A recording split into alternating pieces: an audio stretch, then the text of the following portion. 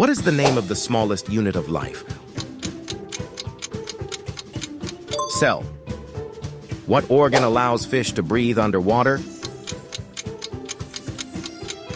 Gills.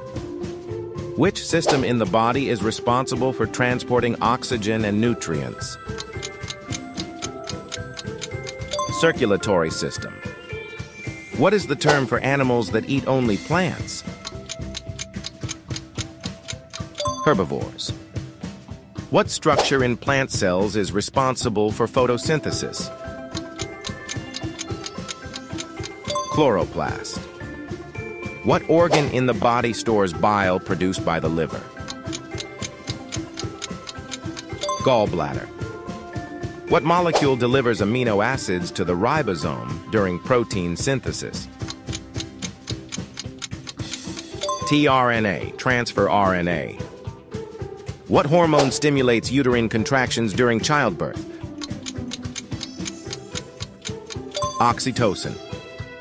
What is the primary nitrogenous waste in humans? Urea. What is the scientific term for the study of insects? Entomology.